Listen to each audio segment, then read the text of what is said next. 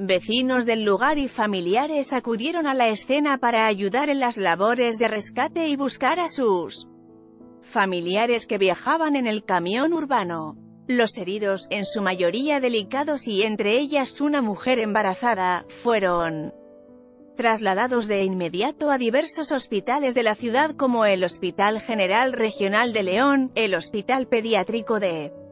León, la Clínica T1 del Instituto Mexicano del Seguro Social, IMSS, en el lugar también se habló de manera extraoficial de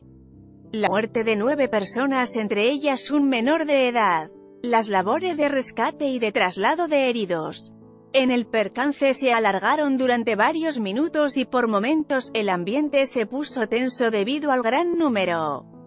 de familiares que querían saber de la condición de sus seres queridos, así como también se reunieron un gran número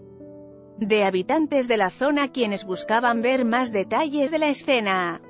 Asterisco Hospital General Regional 16 Asterisco IMSST 21 15 Asterisco Hospital La Luz 3, asterisco Hospital Comunitario Las Joyas, 6, asterisco Hospital Comunitario San Francisco del Rincón, 1, asterisco Hospital Comunitario de Purísima del Rincón, 2, asterisco Hospital General de Silao, 1, asterisco Hospital Pediátrico, 1, asterisco Hospital General de Guanajuato, 1, desafortunadamente hasta el momento hay nueve víctimas mortales entre ellas. El conductor